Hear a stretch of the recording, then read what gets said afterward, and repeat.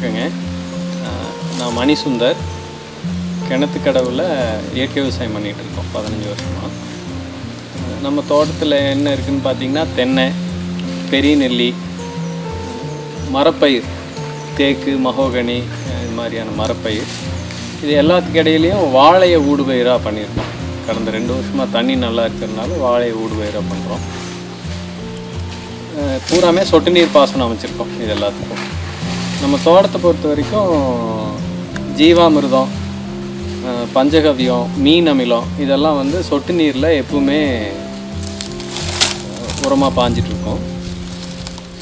அதில் என்ன சிக்கல் இருந்ததுன்னு பார்த்தீங்கன்னா பகல் நேரத்தில் தண்ணி பாய்க்கும்போது இவாபரேஷன் லாஸ் அதாவது ஆவியாகிறது தண்ணி ஆவியாகிறது அதிகமாக இருக்குது அப்புறம் நுண்ணுயிர் இழப்பு அதிகம்.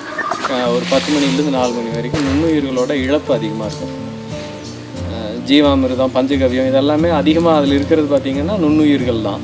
ஸோ அதனுடைய இழப்பு கம்மியாக இருக்கிறதுக்கு என்ன பண்ணலாம் அப்படின்னு தேடும்போது தான் இந்த சொட்டு நீர் பாசனம் அதுவும் மொபிடெக்கில் வந்து இந்த மாதிரி அதை ஆட்டோமேட் பண்ணுறது சொலினாய்டு வால்ஸ் வச்சு ஆட்டோமேட் பண்ணுறாங்க ஸோ அதை வந்து பார்த்தோம். அதில் அதை இன்ஸ்டால் பண்ணதுக்கப்புறம் இப்போ எங்களுக்கு என்னெல்லாம் பயன் உள்ளது அப்படின்னு பார்த்தீங்கன்னா பகல் பத்து மணிலேருந்து நாலு மணி வரைக்கும் நாங்கள் தண்ணி பாய்க்கிறது இல்லை சைக்கிளிக் டைமர்னு ஒன்று இருக்குது அதை செட் பண்ணிட்டீங்கன்னா சாயந்தரம் நாலு மணிக்கு ஆரம்பித்து காலையில் பத்து மணி வரைக்கும் தண்ணி பாயுது. பத்துக்கு நின்றுச்சுன்னா திருப்பி நாலு மணிக்கு தான் ஆரம்பிக்கும். நாங்கள் ஒரு தோராயமாக இருபது ஏக்கர் இருக்குன்னா இருபது வால் வச்சுருக்கோம். இன்றைக்கி பத்து வால் நாளைக்கு பத்து வால் மாற்றி மாற்றி பாயிற மாதிரி சைக்கிளிக் டைமர் செட் பண்ணி வச்சுருக்குறோம். பகல் நேரம் பத்து மணிலேருந்து நாலு மணி வரைக்கும் தண்ணி பாய்க்கிறது இல்லை. இரவில் பாய்க்கும்போது என்ன ஆகுதுனாங்க நாலு மணிக்கு மேலே பாய்க்கும்போது நீர் ஆவியாகி இழக்கிறது குறையுது.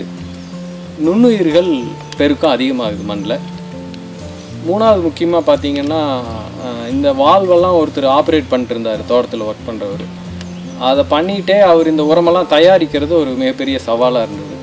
இப்போ வால்வ் ஆட்டோமேஷன் நீர்வாய்ச்சல் வந்து தானே நடக்கிறதுனால எங்கள் கவனம் பூரா எதில் இருக்குன்னா இயற்கை உரம் தயாரிப்புல இருக்குது இயற்கை இயற்கை உரம் என்னெல்லாம் செய்கிறோங்கிறது போய் பார்க்கலாம். இப்போ நம்ம உரம் தயாரிக்கிற இடத்துக்கு வந்திருக்கோம். இயற்கை உரம் செய்கிறதெல்லாம் இந்த இடத்துல தான் செய்கிறோம் இது நாலு மாடு வச்சுருக்கோம். மாட்டு பண்ணை எல்லாம் மேய்ச்சலுக்கு போயிருக்கு இப்போது சாணி விழுகிறது பார்த்திங்கன்னா இங்கேயே விழுகும். அங்கே மாட்டு கோமயம் பார்த்திங்கன்னா அப்படியே வந்து இந்த தொட்டியில் இருந்து நாங்கள் எடுத்துக்கிற மாதிரி இருக்குது எல்லாம் பக்கமாக இருக்குது அப்போ தான் வந்து இயற்கை விவசாயத்தில் தொடர்ந்து செய்ய முடியும். சாணி கோமையும் இங்கே கிடச்சிருது. நாட்டு சர்க்கரை உள்ளே இருக்குது இவர் சுப்பிரமணிய அண்ணன். இவர் தான் வந்து இயற்கை உரம் செய்கிறது தண்ணி வாய்க்கிறது பூரா சுப்பிரமணிய அண்ணன் தான் பார்த்துக்கிறாங்க இந்த தொட்டியில் வந்து ஜீவாமிர்தம் செய்கிறோம் வாரம் ரெண்டு பேட்ச் போட்டுருவோம். ஒவ்வொரு இந்த தொட்டி வந்து நானூறு லிட்டருங்க. நானூறு லிட்டர். வாரம் ரெண்டு பேட்ச் போடுவோம். இது தொடர்ச்சியாக இந்த இருபது ஏக்கருக்கு பாஞ்சிட்டே இருக்குது அந்த தொட்டியில் வந்து நொதித்த இலைச்சாரம். ஒவ்வொரு இலையிலையும் ஒவ்வொரு சத்து அதிகமாக இருக்குது இப்போ புளிய இலையில ஜிங்க் அதிகமாக இருக்குது முருங்கை கருவேப்பிலையில் இரும்பு சத்து அதிகம். துத்தியில் பார்த்தீங்கன்னா சுண்ணாம்பு சத்து அதிகம். அந்த மாதிரி பல இலைகள் இருக்குது அந்த இலையெல்லாம் உள்ளே போட்டு என்னென்ன போடுவீங்கன்னா இதில் தண்ணி தண்ணி எரிக்கலை எரிக்கலி. அஹ், எருக்களஞ்செடி போடுவோம். போரான் நிறையா இருக்குது எல்லாருக்கும் தெரியும். கூட கொஞ்சம் ஈயம் ஊற்றுவோம் தண்ணி ஊற்றுவோம் இதையே நொதிக்க விட்டுருவோம். அப்போ அந்த இலையில இருக்கிற சத்து பூரா சர்க்கரை சர்க்கரை போடுவோம் உள்ள. நாட்டு சர்க்கரை போடலாம். இந்த இதுவும் அதுவும் நானூறு லிட்டர் தொட்டி. அதில் தொடர்ந்து இலைகளை சேர்த்துக்கிட்டே இருப்போம். அது நொதிச்சு அதில் இருக்கிற சத்து அந்த நீரில் இறங்கி இது பூரா அந்த பக்கம் அப்புறமா போய் பார்ப்போம். வடிகட்டி இன்னொரு தொட்டிக்கு போகும்.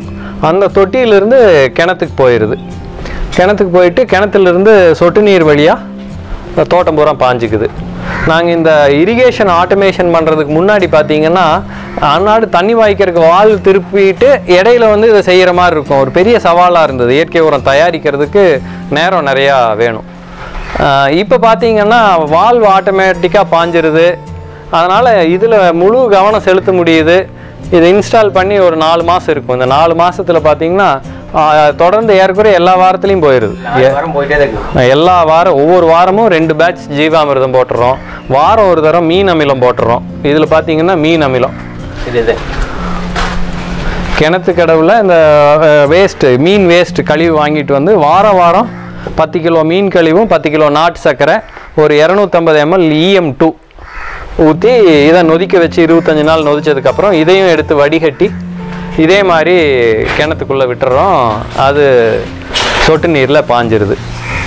இந்த ஜீவாமிர்தம் நொதித்த இலைச்சாரம் மீன் அமிலம் இது மூணுமே மிகுந்த குறைவான விலையில் கொடுக்கக்கூடிய இயற்கை உரங்கள். இதை தான் நாங்கள் தொடர்ச்சியாக செஞ்சுட்டு வரோம். வருஷம் ரெண்டு தரம் பஞ்சகவியம் போடுவோம். பஞ்சகவியம் செய்கிறது கொஞ்சம் விலை அதிகமானது. அதே வருஷம் ரெண்டு தரம் பண்ணுவோம். இது போக இலைவழியில் நாங்கள் சில உரங்கள் கொடுக்குறோம். தேமோர் கரைசல்னு தேங்காய் பாலும் புளிச்ச மோரும் வச்சு தேமோர் கரைசல் பூ பூக்கிறது அதிகமாக இருக்குது இதெல்லாம் இயற்கை விவசாயத்தில் செய்கிறோம் மொத்தத்தில் என்னென்னா இயற்கை உரங்களோட இயற்கை விவசாயம் செய்கிறதுக்கு இந்த வால்வ் ஆட்டோமேஷன் எங்களுக்கு மிகுந்த பயனுள்ளதாக இருக்குது இதை எப்படி வடிகட்டி அனுப்புகிறோங்கிறதையும் பார்த்துடலாம் அப்படியே. இப்போ வந்து அந்த இயற்கை உரங்கள் நம்ம தயாரித்ததை வடிகட்டுற இடத்துக்கு வந்திருக்கிறோம். இப்போ அந்த பக்கம் தான் இது ரொம்ப வேலை இல்லை பார்த்தீங்கன்னா இந்த இயற்கை உரம் செய்யறதுக்கு தேவையான தண்ணி பார்த்திங்கன்னா இங்கே குழாயை திறந்தால் வர்ற மாதிரி எளிதாக செய்கிற மாதிரி தான் வச்சுருக்குறோம். இது தயாரானோடனே ஜீவாமிர்தம் விடணும் அல்லது நொதித்த இலைச்சாரம் விடணும்னா இந்த வால் திறந்தாங்கன்னா இங்கே வலை இருக்குது பார்த்தீங்கன்னா இதில் வடிகட்டி இந்த தொட்டிக்கு போகும். இந்த தொட்டியில் அடியிலிருந்து நேராக கிணத்துக்கு போகிற மாதிரி ஒரு கனெக்ஷன் இருக்குது இதை திறந்து விடுங்கன்னா எப்படி வடிகட்டுதுன்னு வேணால் பார்க்கலாம். நீங்கள் திறக்கலாம். லேசாக ஆ.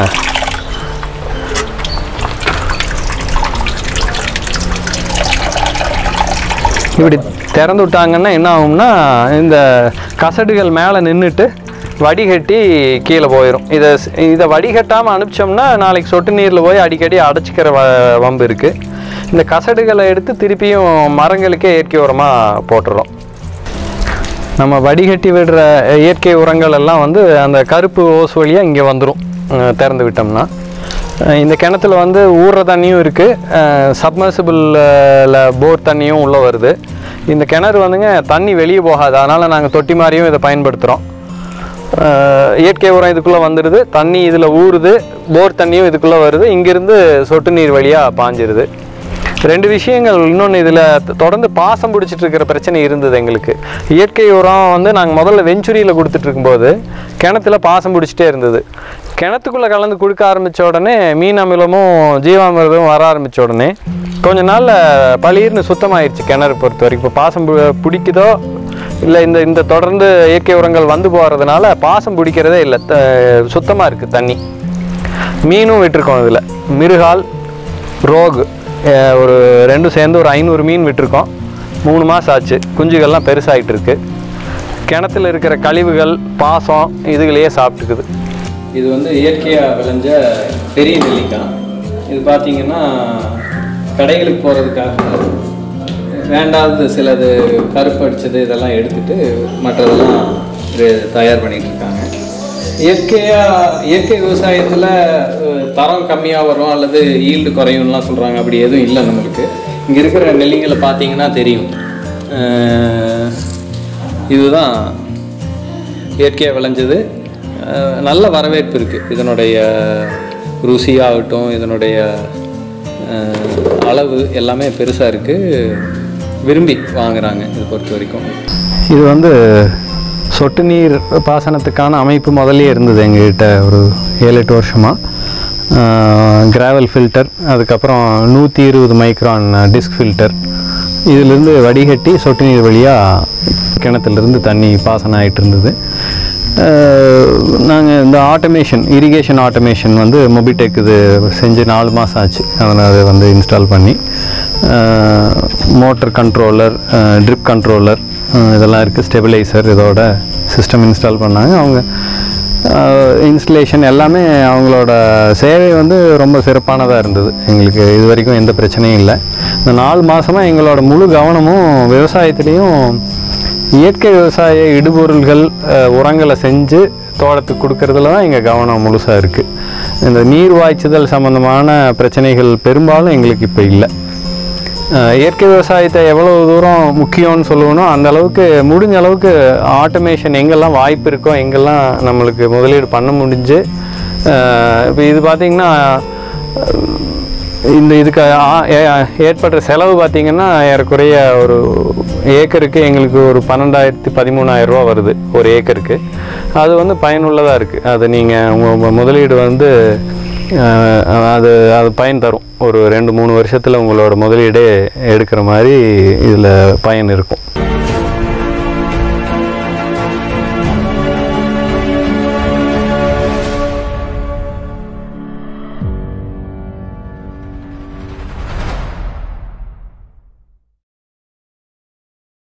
Subscribe now and press the bell icon. Never miss an update.